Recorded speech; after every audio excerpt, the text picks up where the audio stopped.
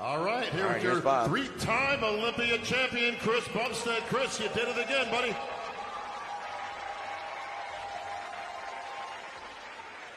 How's it feel? Third time's a charm. It doesn't feel any less special than the first one. It's been an amazing journey. You know, bodybuilding's given me so much.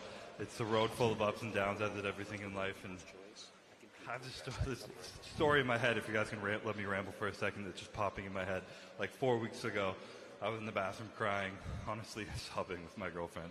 Just like, felt like a lot was getting to me. It was a lot of pressure. Felt like things were just kind of hard and tough, and I wanted to just quit, to be honest. I felt like I lost a lot of faith in myself, and it was getting really hard to just push through. And I didn't quit. Obviously, we're here today, but this morning before, well, after prejudging, I had that same cry in the bathroom, but this one was a cry of gratitude and pride that I had pushed through and gotten through that.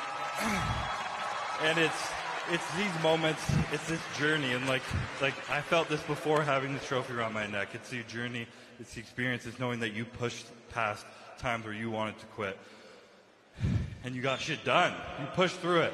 So, to everyone out there whose dreams are scaring you, whose dreams make you want to quit, just don't quit. It's good. Your dreams should be big, they should be scary. Just keep pushing through. I have this thing I say champion mentality. It's not about winning, it's not about a trophy, it's about having no quit. It's about giving everything you have so that when you show up on game day, before the results are over, you're proud of yourself and you know the work you put in. And that's all I can feel right now. Just pride and gratitude to be here on this stage under these lights again this this will never get old, and I'm just so grateful to have the opportunity to do what I love. So thank you so much to our readers who've made this possible, this platform to do what we love. I appreciate it so much. The Manions, Jim, Steve, Tyler, all you guys, the Olympia crew, Tamer, Dan, everyone, Jake. This is such an amazing event. This even crazier than last year, It just keeps getting better, and I'm so grateful for the opportunity to be here and enjoying this moment. To the fans, everyone at home who's watching the pay-per-view, I love you guys so much. You make this so fun. The energy, the, the crowd, the people, the support, you make it so fun.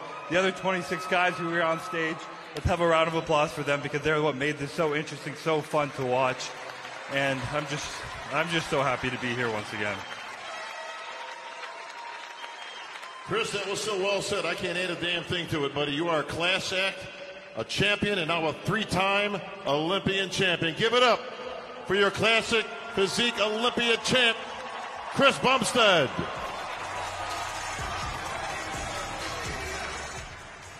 Sorry, there's one more thing I want to say. The first two times I have ever stepped on stage were with George Peterson. And he was always smiling, he was always humble, he was always grateful, he was always so happy to be here. And I really tried to keep this spirit in my heart this weekend. And I think we can all learn to have that kind of attitude of just being present and happy and grateful for where we're at.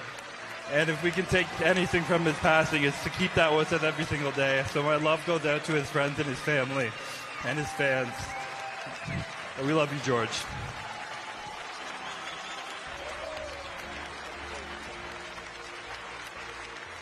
You can get up for that one, folks, for George Peterson watching down right now.